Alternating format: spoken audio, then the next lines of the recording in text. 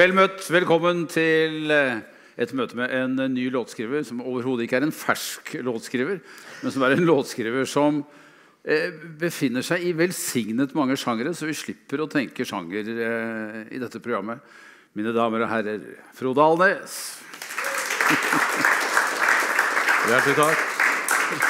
Eller du, du er jo popmusiker. Eller du er jo jazzmusiker. Eller du skriver jo egentlig opera. Oi, oi, oi. Nei, jeg er musiker, iallfall. Ja. Og jeg har alltid trivdes i å være en fri fugl i, i norsk musikkliv. på en måte. Jeg trives i de fleste sjangre, egentlig. Har du vært, har du vært sjangerulydig med vilje, eller har det bare blitt sånn? Nei, Jeg tror det bare har blitt sånn. Jeg, Altså, jeg tror faktisk at jeg har klart å bli akseptert både i jazzleir og popleirer. Og, og, og er så heldig at jeg har blitt det. da. Ja. Og du har spilt gitar siden du var den berømte eller- neve stor. Ja, jeg begynte å spille gitar eh, da jeg var elleve år, faktisk. Og har ikke angra et sekund. Eh, visste du at det var det du skulle leve av? Det var, det var en litt spesiell historie for meg. Jeg vet ikke om det var tilfeldig. eller at det var, Når jeg var elleve år, så mista jeg håret faktisk av en sånn hårsykdom som heter alopecia. Hvor jeg mista det når kompisene mine ble mer hårete både sør og nord på kroppen. sånn. Så, så forsvant mitt. Det ble nå bare sånn, og da husker jeg jeg fikk valget mellom å eh, få en platespiller eller en gitar som trøst av foreldrene mine. Og da valgte jeg gitaren. Og, og vi fant hverandre på en måte da, og det ble på en måte både Om det var jeg som valgte gitaren, eller den som valgte meg, det vet jeg ikke. det er vel flåsatt sagt, Men det ble iallfall min trøst gjennom livet. Og jeg ble ganske fort flink. og brukte vel det som et våpen for å, mot både mobbing og alt mulig rart. Så, og fikk jo spille med folk som var mye eldre enn meg ganske tidlig. Så jeg lærte, var sikkert derfor også, jeg lærte veldig mye forskjellige stilarter. Og sånn, og, men også et, jeg tror også det, jeg har tenkt veldig mye på det, for nå har jeg vært på en lang turné om mitt liv med gitaren. Ja, du har jo lagd en egen forestilling. Ja, Min dans med strenger. Og da forteller jeg det en veldig personlig historie om gitaren som trøst og, og som venn gjennom et uh, Jeg gikk jo med parykk i 16 år, faktisk. før jeg... Så det var et, eh, Jeg tror iallfall uh, gitaren ble på en måte min, min planke i livet i en, en viktig periode. da. Ja. Begynte du tidlig å skrive òg? Egne ting? Ja, jeg gjorde det. Men da var det jo veldig mye sånn eh, Til å begynne med var det jo eh, veldig mye rar musikk. Sånn dinosaurrock og veldig mye rare takter. Forferdelig. Jeg har hørt noe av det i ettertid, og det, det er jo helt grusomt. Men det var moro. Men så begynte jeg jo å ja, jeg ble veldig fort begeistra for god popmusikk. Da, for jeg, jeg vokste jo opp med dem som hadde vokst opp på 60-tallet. på en måte. Så det var jo liksom Kinks som var mitt store band. The Kinks. Så, eh, men etter hvert så ble jeg jo også det å improvisere på gitar og var med veldig mye forskjellige musikere og band. og sånn, Så jeg ble en sånn, det var sikkert derfor at jeg har vært innom så mye forskjellig musikk.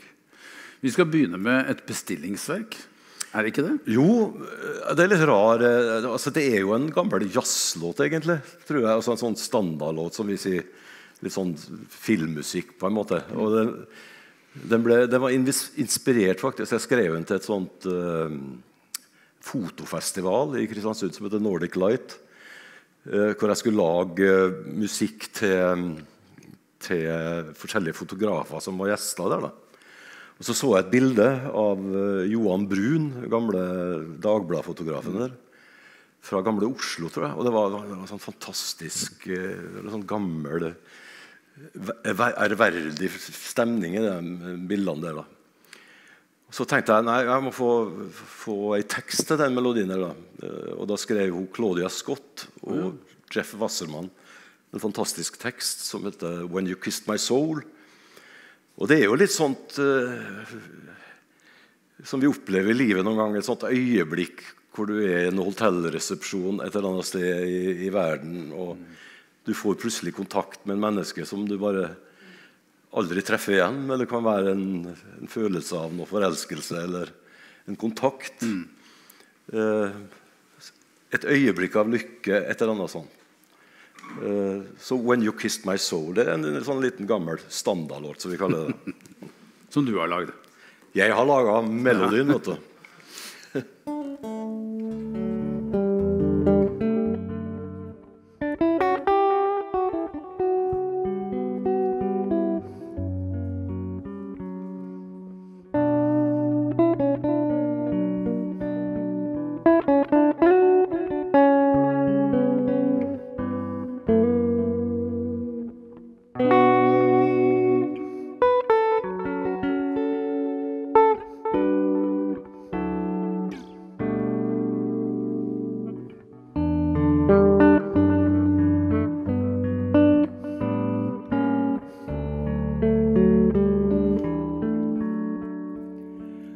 in my life.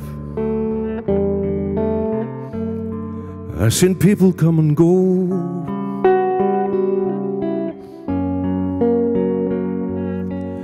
Some leave a mark and stay in your mind. Some melt like snow.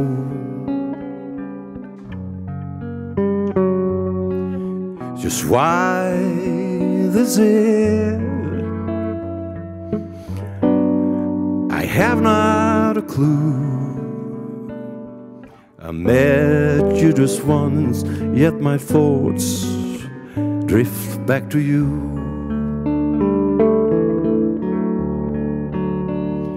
We could have been lovers. We could have been friends. But we only shared glances. Across the sunny road.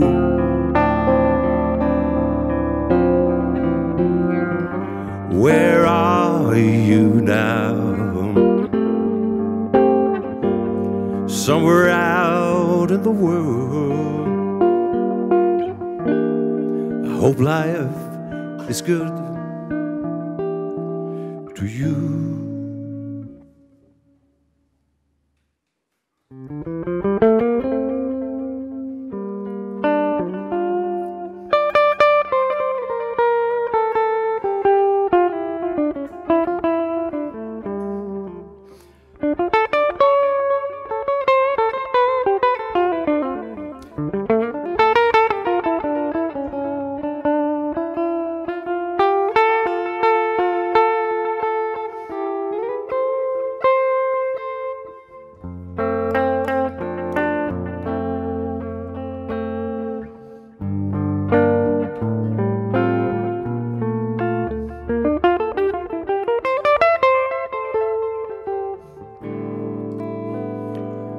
So I smile when I think of time gone by.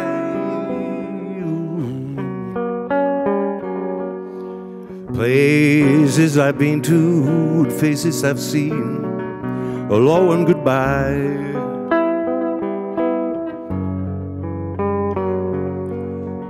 Oh, this made me the very person I become. Always remember, but I always recall. I always remember, but I always recall your tender expression when you kissed my soul.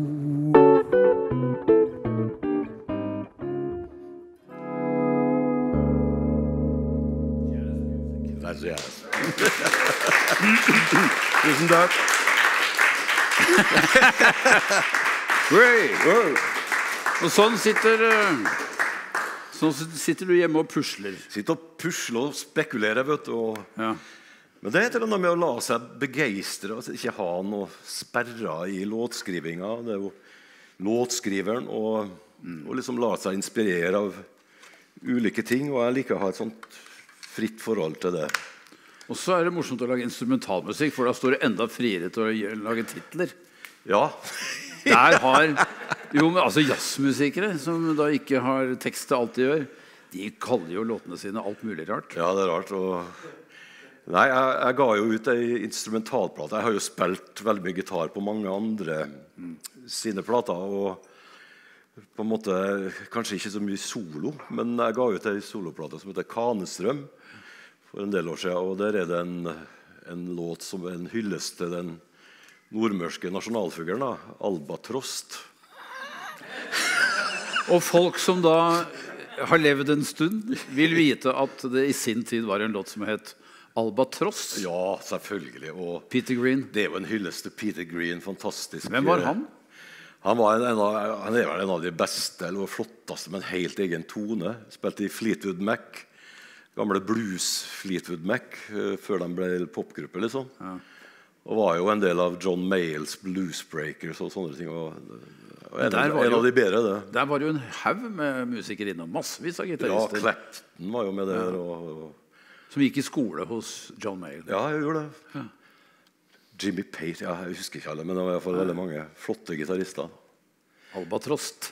Albert. Så, men det er, en, det er en hyllest. Det er en hyllest til, den, eh, til gitaristen, selvfølgelig. Men jeg, jeg, jeg er jo en tulling, så jeg, husker første Første vakre melodien Den skal jeg spille etterpå, men jeg skal ikke si hvordan det er. Den het faktisk 'Gutten skeit i vaffeljernet'. Så, Det det, er sant. Ja, så sånn går nå dagene. Men, det, men jeg har faktisk juksa litt, som hun sier, Ingrid Espelid Håvik. Og jeg har med bandet mitt på boks. Så jeg, jeg, jeg tillater meg. Ok. Men jeg, de har fått betaling, og jeg. Jeg har betalt skatt og arbeidsgiveravgift og alt mulig. Så En gang for alle. en gang for alle. Men det er da mitt band fra soloplata og jeg som spiller live gitar oppå her. da Ja. Albatrost. Albatrost. Ja, det går sånn.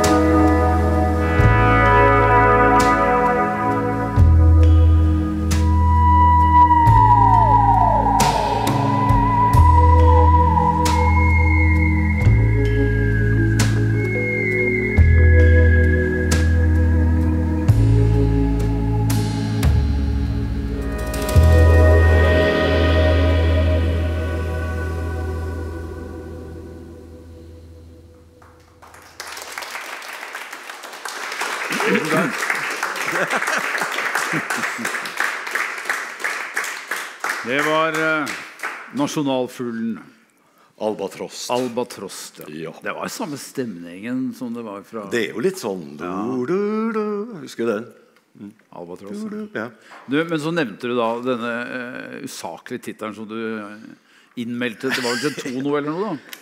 Ja, det var Gutten skeit i- vaffeljernet. Gutten skjeit i vaffeljernet. Hva heter det låta? var Gutten det siste gang jeg sier men det, det er jo en av Jeg velger å si det sjøl. Kanskje no, Jeg kan si det. dest- Ja. Jeg kan si det. Ja. Dette, Vita Lux, som det nå heter, Ja. en av de norske komposisjonene som er spilt inn flest steder i verden. ja, jeg tror de Hundrevis av artister Ja, som har spilt inn over hele verden, faktisk. Ja. Ja, Det er veldig rart. Det, det, det et eller annet med låtskriver altså Når du skriver en melodi, så, så har det en tendens til å på en måte bare leve sitt eget liv. Og den låten der var, jeg var heldig med den. sånn. Den har på en måte levd sitt liv. og Jeg har jo jeg har, jeg har vel spilt den på ei plate, jeg òg, men eh, som du sier, veldig mange andre har gjort det. Ja. Sissel Kyrkjebø, Ole Edvard Antonsen, Paul McCartney. Men det, det er en melodi som blir brukt veldig mye i, både i glede og i sorg. Ja. Og var, ja, han var jo også brukt veldig mye minnemarkeringer etter 22. juli. Og, og det er jo flott at musikk og låtene han har laga sjøl, og andre sine som kan bli brukt i sånne ting. Det, der ordene slutter å virke, der begynner musikken. på en måte. Ja, og, og det er jo ganske eh, vanlig, og en selvfølge nesten, at i det øyeblikket du er tom for ord og full av følelser, så Mm. griper det til musikken. Ja. Det er, ja, det er et eller annet med, det med skjedd. som skjer, som går. At musikken musikken snakker. Eh, Jeg siterer denne forestillinga mi. Jeg har et sånt nummer som eh, Min dans med strenger da, om mitt liv med gitaren. Da har jeg et nummer som jeg kaller for fuglenummer.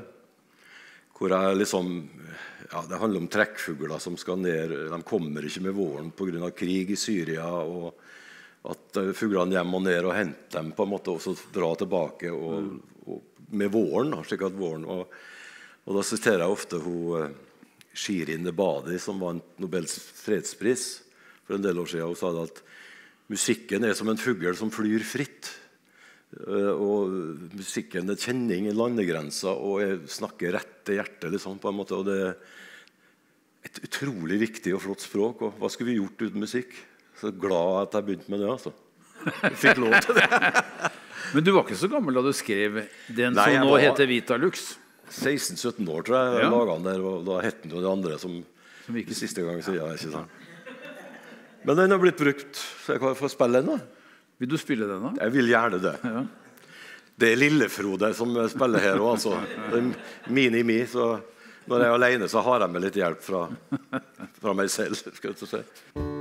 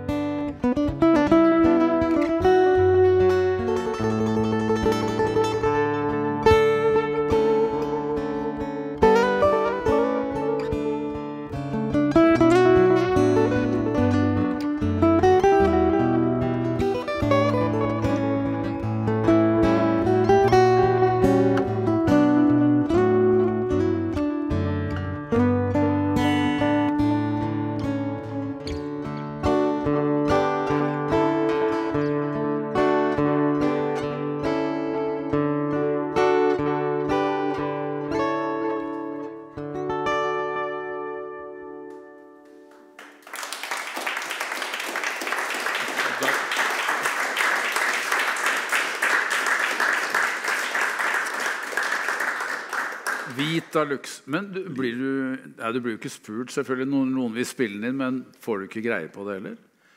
På en eller annen Nei. måte? Så du vet liksom hvordan den lever rundt omkring i verden? Jeg ble faktisk spurt når hun, Sissel Kyrkjebø skulle spille inn med mormonerkoret i, i USA. Den lå faktisk på førsteplass på Billboard-listene, den låten der i klassisk liste. eller noe sånt. da. Jeg sa det var greit. De kan gjerne få bruke den, sa jeg til mormonerne, men da slutter de å banke på døra mi. Nei da Det er ikke helt sant. Siden har du ikke hørt noe? Nei. Nei. Nei, Men, da men, den. men, men du er, sant, er mange spør om du vil komme og spille, være med, bidra, opptre. Rek, rekker du å skrive noe? Du, jeg skriver jo noe hele tida. Ja, jeg har hatt masse bestillingsverk og, og soloplater. Og så har jeg jo laga all musikken for Dance with Stranger. da. Og, Ja, og, og har masse prosjekter på gang fremover. Jeg skal lage plate med norske viser med tekstforfatter som heter Ingvar Hovland. Som kommer eh, litt senere. da, og Mye på hjertet. Det er travelt. Det er moro. Ja, det er mest moro. Men, men eh, det er lenge siden en fødsel fikk deg til å skrive en sang, kanskje? Ja. Ja, det er litt spesiell historie, for det var eh, det, det, det, Av og til så blir det jo bare sånn. Eh, Det var jo sånn at eh, Sønnen min ble han Ola da, han er jo 27 år nå, større enn meg. Men han, han altså Det var sånn svangerskapsforgiftning, og han ble født altfor tidlig. Så han var, han var vel bare 1300 gram da han ble født og ble trilla ut av meg i ei kuvøse. Og, og liksom sa nei, vi skal leve sammen resten av livet. Og, og det var en sterk, men flott opplevelse. Og jeg var liksom Ja, det var det. Men da kom jeg hjem og så laga en liten melodi til en bitte liten gutt. Og, og den begynte egentlig sånn som det her. jeg.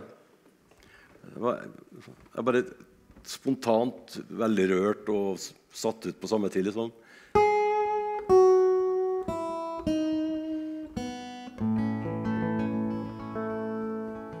Melodien. liksom Tre akkorder. Det er liksom ikke fint nok, det? Eller bare tre akkorder? Jo da. I Nashville så sier de jo country music, three chords and the truth. Der har du den tredje og Og det var melodien. Og Så gikk det vel et år, tror jeg, og så skulle vi gi ut en ny plate med den. So the Stranger. Og så, så tenkte jeg nei, det her er jo en veldig fin melodi. og Tre akkorder en enkel melodi. Og jeg må få en enkel, men veldig viktig tekst. Så spurte hun Sissel Endresen om hun kunne lage tekst à la Imagine eller noe sånt. Det var litt av en oppgave å få. Men hun kom opp med en fantastisk tekst da, som eh, heter 'Only Love'. Og det ble jo en stor hit. Og det eneste låten jeg synger duett da med elgen i som du ser, Stranger'. Så eh, nei, men Det handler jo om the lion, det er altså bibelsk tekst. 'Lion lie down with a lamb'. Det er jo en allsang, så det er bare å være med og synge på refrenget.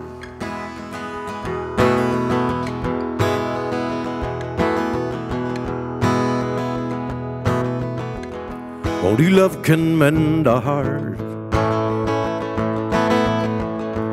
unite what stands apart. Only love can bridge that span and make the lion lie down with the lamb. Only love can set you free. will make you turn the other cheek. Turn a fist into a hand make the lion lie down with the lamb. Only love can make you wise, will make you swallow all your pride. Yes, it will. I'll turn a fist into a hand and make the lion lie down with the lamb. Så kommer allsangen. Sing na na na Maya. Na na na na na. Ooh. Na na na na na. Yeah. Little light lie down with a lion. Only love can make you strong. Only love knows right from wrong. Whoa. Love makes no demand. And makes the lion lie down with the lamb. Only love can dry your tears. I'll make you swallow all your fears. Yes, it will. I turn a mule into a man and make the lion lie down with the lamb. I hytt og hus. Na, na, na, na, na. Yeah. Na, na, na, na, na. Na, na, na, na, na. Yeah. I make the lion lie down with the lamb.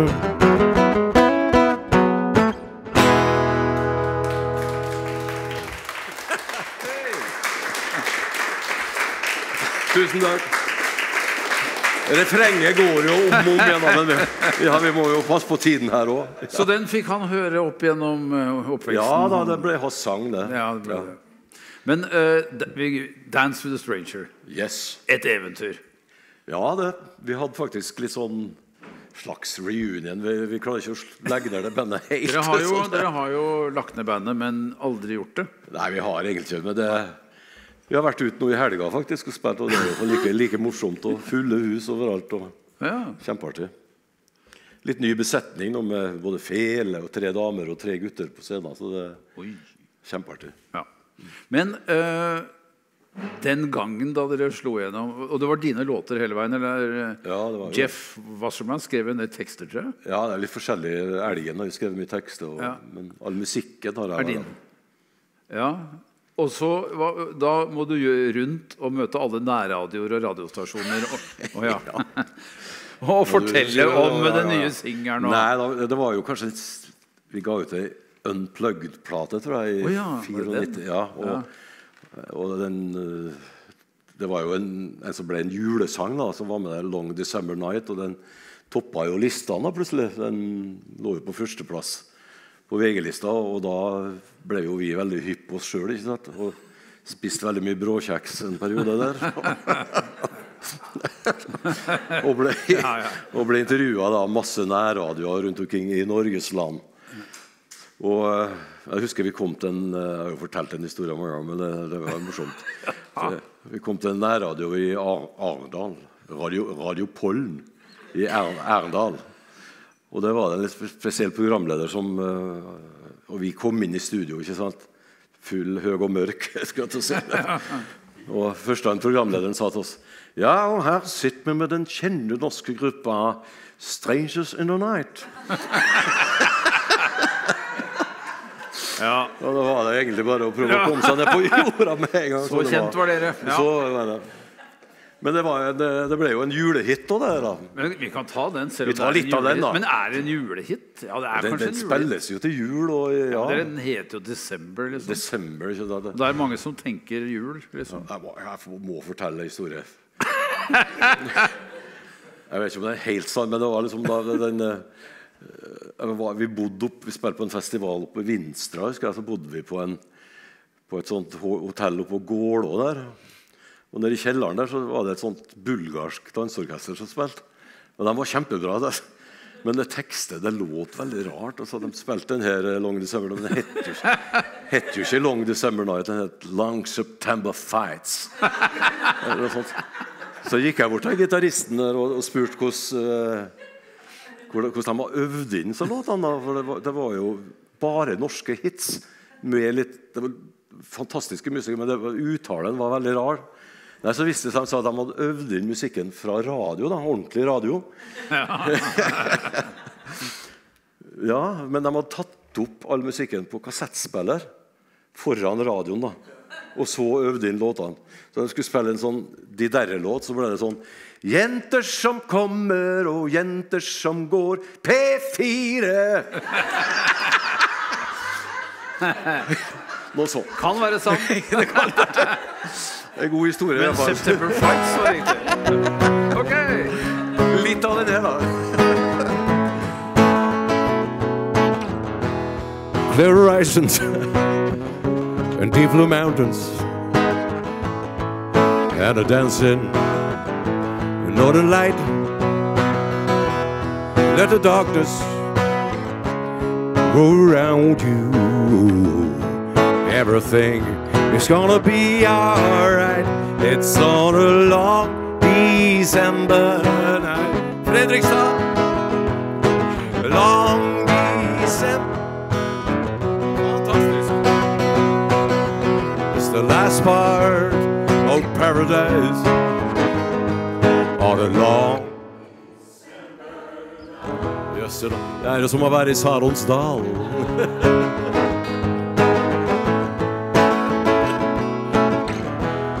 Morning brings you the nature's wonders as the daylight wins the fight. In the deep snow oh, grows a flower, and everything is gonna be alright. It's on a long December night, a long December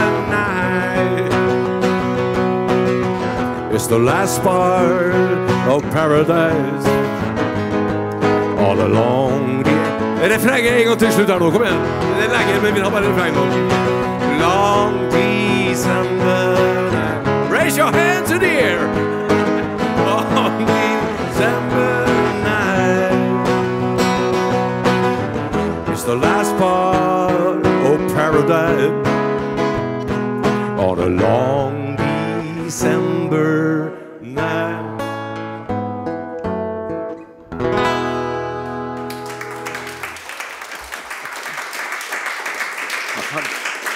Det ligger liksom i blodet at jeg må få med folk. vet du, Det gir seg aldri. når- når du gjør sånn med gitaren på liksom siste Hjelper det? Eller å, ut. Det visuelle bedrer seg litt. da. Ja, gjør det? Ja. Men det er liksom Ja, du får litt, Ja, det er litt sånn kor, korus, som vi kaller det. Lokker ut det Det siste, er den siste mye, rart du kan gjøre med en gitar vet du, for å imponere. Prøv, ja, ja.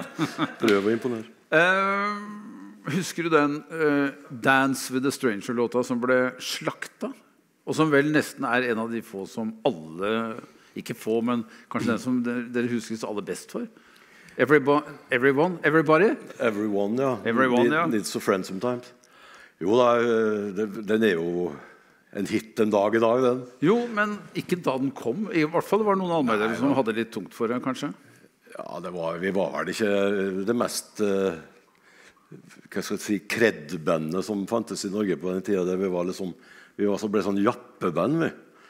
Ja, vi var jo helt Vi var jo langt fra Vi kom jo fra Kristiansund. Det er jo ikke noen japper som kommer derifra. Nei da, så vi, var, vi fikk ikke så gode anmeldelser. Nei. Nei. Hva, hva slags band var dere? E? Du og dere? Nei, Bestemte altså, vi dere, er eller? et klassisk band som, som på en måte spilte tusenvis av konserter, var på hver krik og krok av Norge, og et veldig bra liveband. Ja. Gode musikere som hadde et helt eget uttrykk. Og, og vi ble liksom et sånt Vi ble jo på en måte eh, på begynnelsen av eh, 90-tallet og slutten av 80-tallet et sånt litt velprodusert band, for det var ny teknologi, og det var mye studiojobbing. Og jeg husker jo på den låten der og Da begynte vi med noe som het stereosampling. Og så De brukte jo faktisk Jeg lå på sofaen jeg, i Nidaros studio i Trondheim i en måned mens de holdt på å få lyd i skarptromma. For det var mye rare greier. Og, men det ble jo tuff, Det ble jo så bra lyd på det at det ble jo liksom brukt til å teste ut stereoanleggene rundt omkring på den tida. Der. Men, men, det, men 'Dance with the Stranger' blei det det blei fordi det var de låtene dere skrev som dere hadde lyst til å lage? Ja, det ble det. Ja. Absolutt. Det var ikke forsøk på å være bli Nei. gå inn i en rolle eller noe? Nei, det, var- det var sånn å Dere skrev bare det dere hadde lyst til å spille? Ja. Og utrolig morsom tid vi har hatt sammen og opplevd så utrolig mye. Derfor greier dere jo ikke å gi slipp- på hverandre heller. Nei, det var sånn. Men den låten der var jo Vi var, var med på en sånn musikkfestival i Polen, faktisk. Som het Sopotfestivalen. Og den festivalen var større enn Grand Prix eh, var da i eh, Vest-Europa. Men det var før muren falt. da. Og så vant vi jo begge førsteprisene vet du, med den låten der, tror jeg. Og det var da eh, faktisk beste utseende. og beste låt, da. Og førsteprisen det var da ei svær parabolantenne. Det var, den er nå fuglebad i hagen til elgen. Og, og så solgte vi en million. Jeg har, eller Manageren som sånn, Barry Matheson han hadde, har platinaplate fra Sovjetunionen. da. For at vi, Førsteprisen var å selge en million plater i Sovjetunionen. Men du kunne ikke få det ut i penger, eller noe sånt. du kunne få det ut i tømmer eller vodka. Så, så sånn var det. Men det, ble, ja, det, ble jo, det er jo ikke jeg som synger den låta, men eh, jeg Nå får prøve. blir det det. Nå synger du. Only love kan jeg synge. Ja, det har jeg allerede gjort.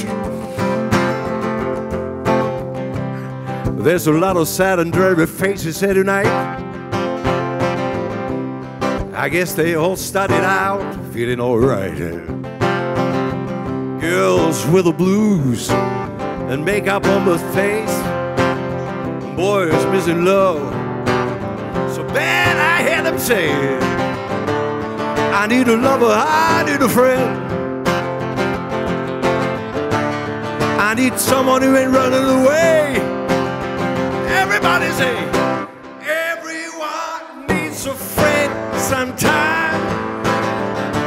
wake you up and sing a lullaby. Yeah. Everyone needs a friend sometime. That's what it's all about. When you check it out, you will know. Oh, there's no one to, to lean on.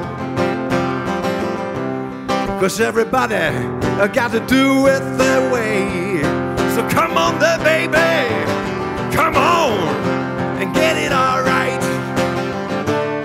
I need a lover, I need a friend. I need someone who ain't running away. So let me hear you say now. Everyone needs a friend sometime to wake you up and a lullaby. Yeah. Everyone needs a friend sometime. That's what it's all about.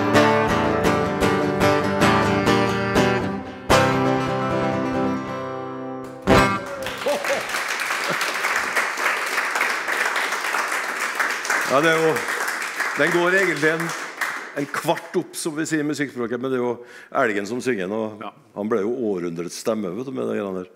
Det er jo han som synger den.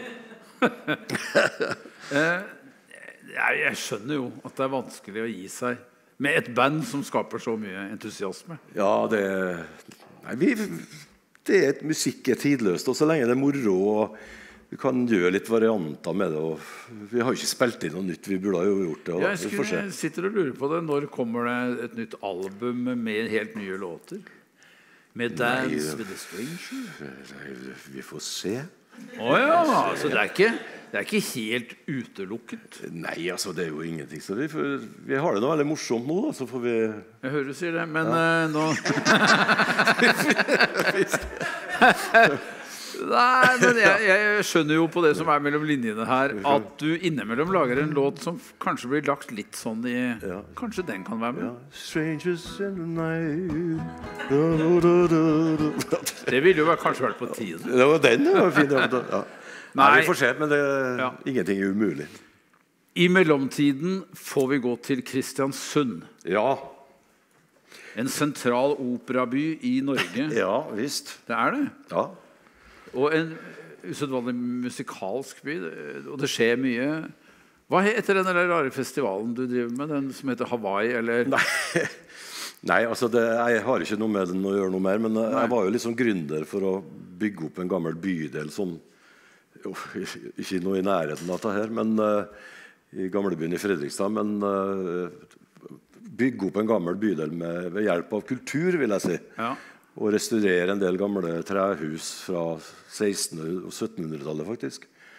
Og så da brukte vi Tahiti-festivalen. Tahiti var det, ja. Ikke Hawaii, selvfølgelig. Tahiti. Tahiti-festivalen til å liksom Og de, alle pengene som kom inn fra den, den spytta vi inn i og bygningsmassen. da kan du si. Det er jo dyrt å restaurere gamle hus. Det er det. Men, men er uh, Veit et sted? Ja. Er, den, er den skrevet i anledning eh, Nei, det, altså, Dette det var ikke sånn? Kristiansundsplate, tror jeg, som ble gitt ut på begynnelsen av 90-tallet. Og, og der spilte han jo inn, spilte jeg inn sjøl. Både med Lynnik Trekrem og en Elg og masse flere artister. da, Kjetil Bjerkestrand. Og. Men så spilte jo Lynni inn den låten og gjorde den populær. da, kan du si. Men det er jo en sånn hyllest. Det har jo blitt en sånn nasjonalsang i Kristiansund. på en måte. Det er den man synger når man men samles. sånn... eh, Men folk synger den. Folk eh, vil, vil alltid ha den. Det er liksom sånn Morten Abeland kommer ikke unna Tore Tang. Jeg må spille den her. Så det, men Ja, det, ja, men da- jeg synes, egentlig Når jeg laga den, så syns jeg den var forferdelig stygg. Melodien. Ja, jeg likte ikke den i hele tatt. Men så tekstforfatter Ove Borrokstein som forlangte at jeg spilte den. da. Og det gjør jeg nå òg.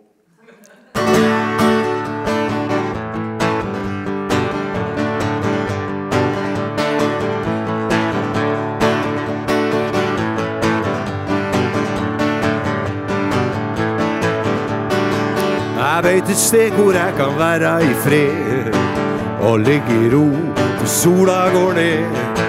Jeg veit et landskap som er farga i blått. Gjør ikke noe om været grått.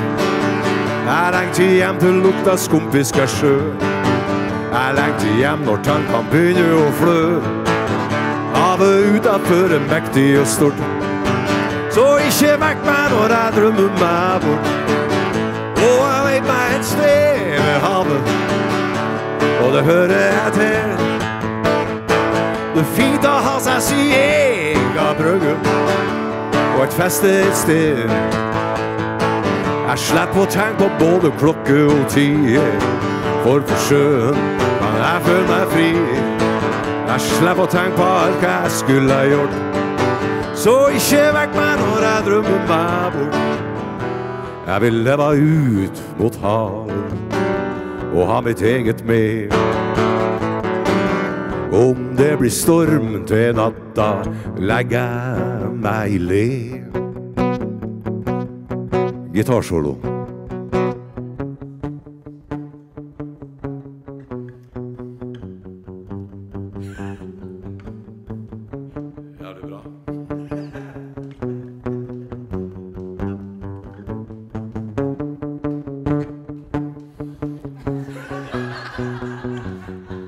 For en artist!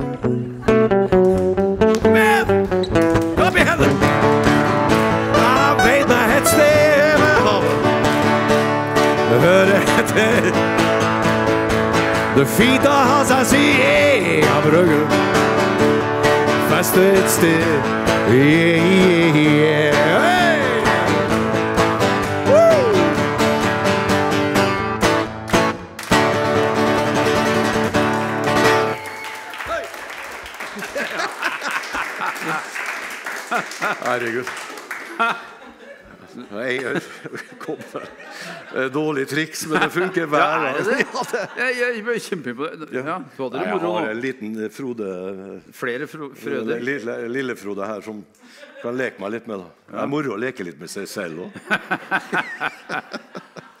Ja, Ja visst. fiffig. Fiffige greier. Men eh, eh, du- du vet ikke hvor mange album du har vært med på?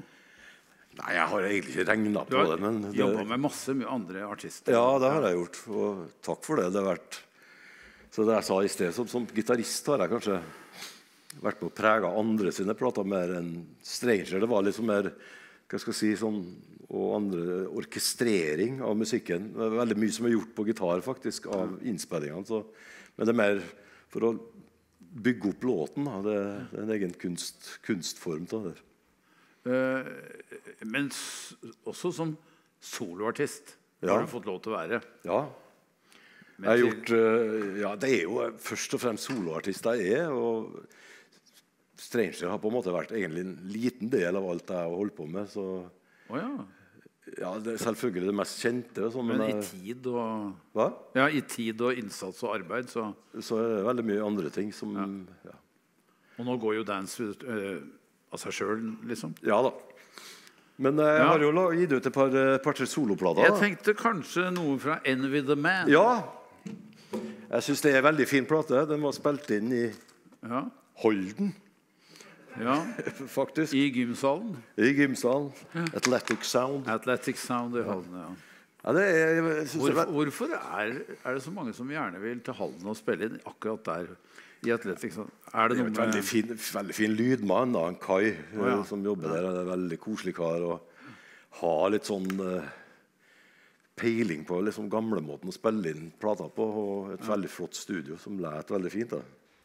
Er det lydmannen som avgjør eh, når man velger studio? Ja, Det er en kombinasjon med lydmannen og, og musikerne, tror jeg. Og utstyret det, er jo, det får du jo overalt. Men det er klart det, det er noe med stemninga i lokalet. Bare det å være i et sånt lokale som det her, f.eks. Det, det setter en ramme som gjør at du trives og får sånn atmosfære. Og det er jo kanskje ikke så dumt når man skal skape noe som er følelsesbasert? Som Nei, musikk. det er å få folk til å slappe av og, og yte sitt beste. Og Ja. gjøre, gjøre hverandre gode, tror jeg. Hvilket, og omgivelser. hvilket soloalbum i rekka var 'Envy the Man'? Var det tidlig? Nei, det er ikke så lenge. Det er fem-seks år siden Ja. den kom ut.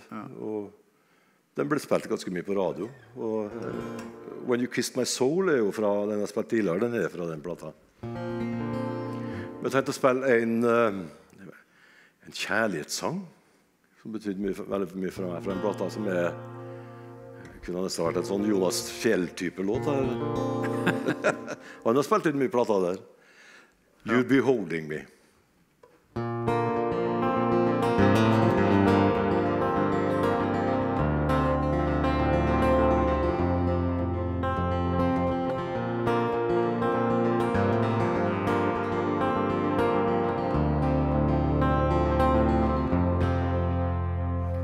So let the record show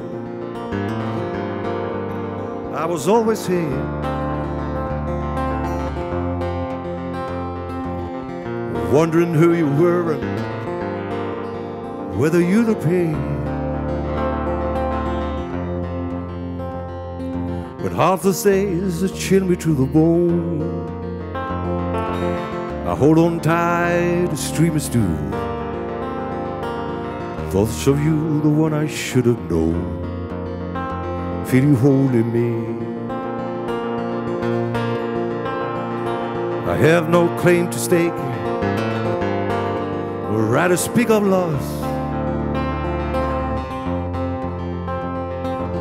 There's no risk, no risky move that I'm bound to make, no bridge to cross.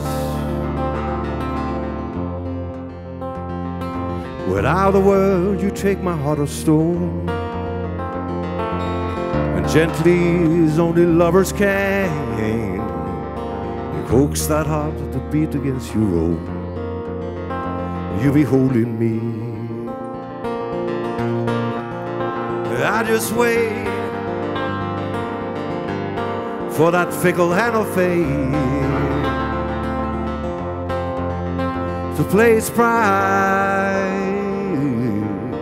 How I long for it to start.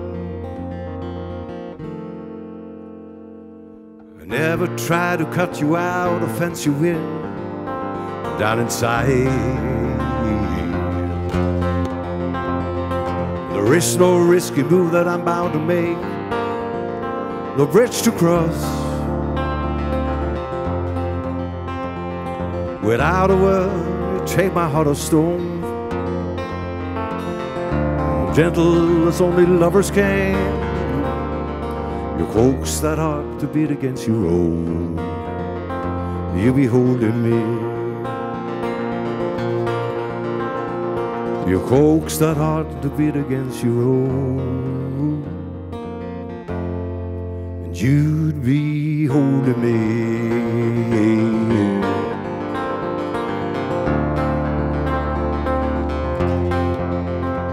You'll be holding me.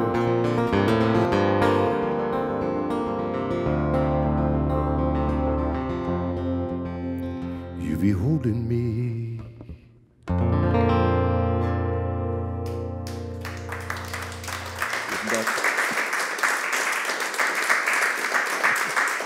Hjertelig takk.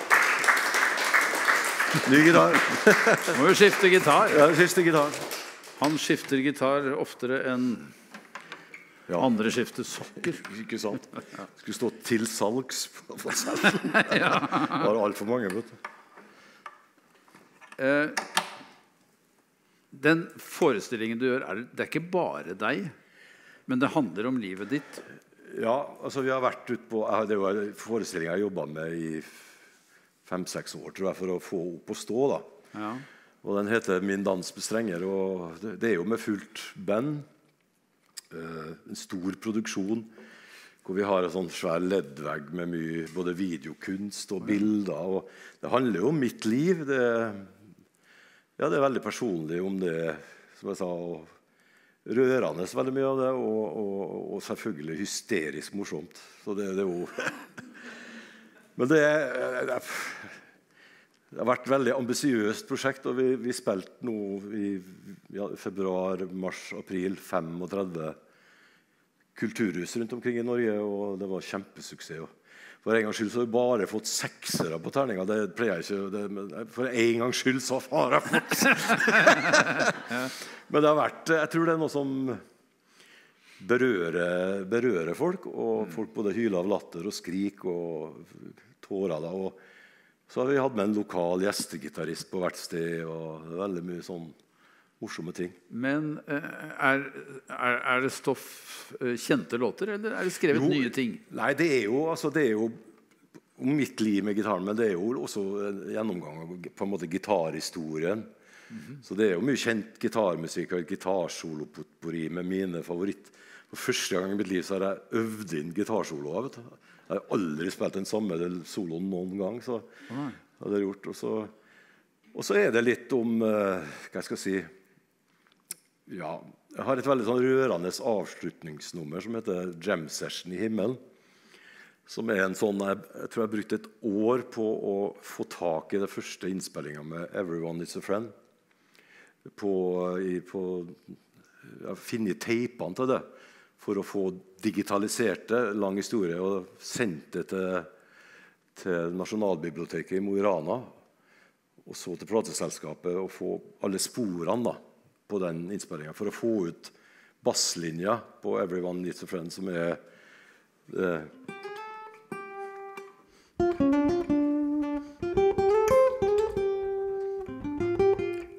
spilt av en bass, spilt av en Yngve Mo.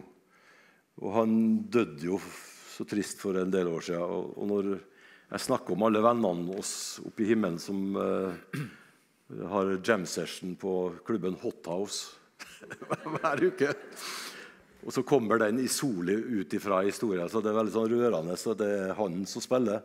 Han er i rommet, på en måte. Og, så det er veldig mye sånt, og så er det veldig mye morsomt. da. Men den som vi skal avslutte denne praten med, det er å spille gitar med parykk. Ja, det er ikke lett å spille gitar med parykk. Nei.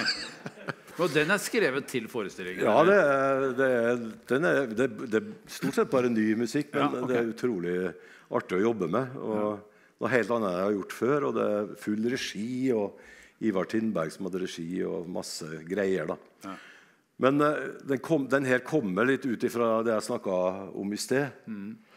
Eh, om det å miste håret. Så jeg har et nummer før som heter 'Min blues'.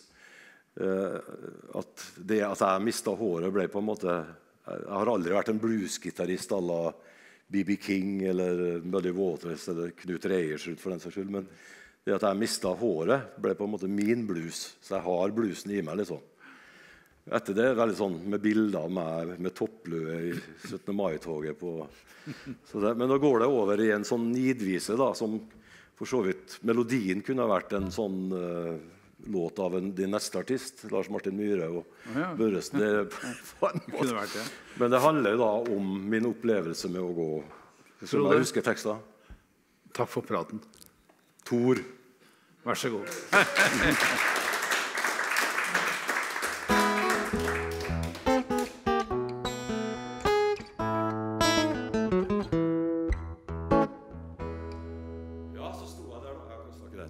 så sto jeg der da. Tolv år uten hår. Og det er jo ikke noe drømmescenario for en ung mann i puberteten. Så jeg tok et valg, jeg. Jeg begynte å gå med parykk. Men det å være en ekte rocker med fuspedal og ha en syntetisk hockeysveis i ekte akryl på hodet Den kombinasjonen vil jeg ikke anbefale til min verste fiende. jeg tenkte dere selv at Det var på den tida jeg drømte om å ha en ekte puddelrockersveis à la Brian May i Queen på hodet. Men jeg endte opp med å se ut som jeg tredde en død grevling på Svarskall. Om det var varmt Etter en litt saftig gitarsolo så kunne det vel ha helstekt et rådyr inni parykken. Og kokt saus på svetten.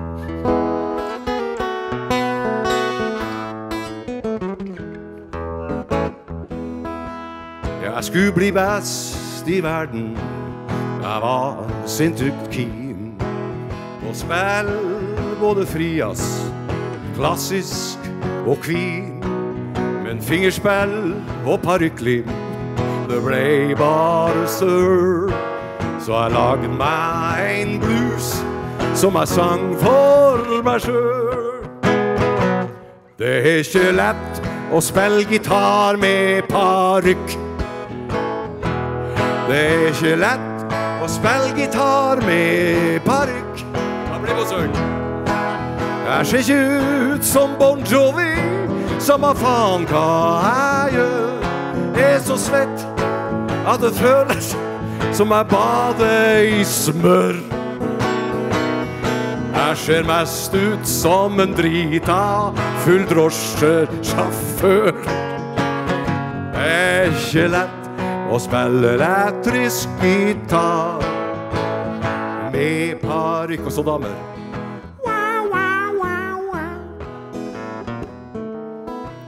Det som var viktig for band som oss, Dance for the Strangers, på begynnelsen av 80-tallet, det var å prøve å oppnå den såkalte musikkvideoeffekten. Vil si gitarist på fjelltopp i flagrende gevanter, mens gitaren spruta fyrverkeri og konfetti, og det lange, krøllete håret blåst som ved stiv kuling ved Stad. Jeg hater vindmaskiner.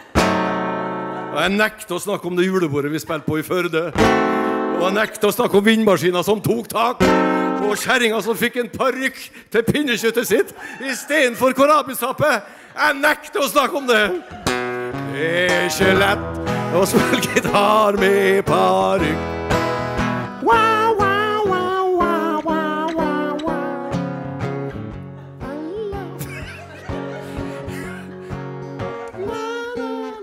En gang så sjekka vi inn på et lugubert hotell et eller annet sted i Norge. Jeg skal ikke si hvor det var. Det var på Tynset. Vegg-til-vegg-teppet var så heslig at når jeg skulle gå fra senga til badet, så måtte jeg ta på meg skoen. Når jeg våkna sånn på formiddagen, da så jeg det. Midt på gulvet lå parykken min fastklistra i noe grønn pærelikør. Jeg har fått i meg to liter av på nachspielet kvelden før. Jeg måtte ta spenntak og rive den løs! Ja. Om parykken min ikke var stiv nok fra før, så måtte jeg fort meg å ta den på. Ja, det var rett før vi skulle kjøre. Og når jeg så meg i speilet, kjente jeg et visst ubehag. Jeg så ut som Donald Trump på en svært dårlig dag. Kom igjen! Det er ikke lett å spille gitar med paring. Alle sammen syng med. Det er ikke lett å spille gitar med parykk. Ja, en ting må du huske hvis du vil bli artist. Hold beina på jorda og vær realist. For du vil aldri i livet bli idolfinalist. Hvis du velger å spille elektrisk gitar med parykk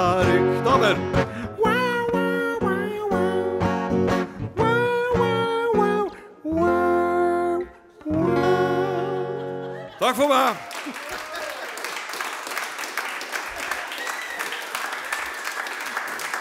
Tusen hjertelig takk.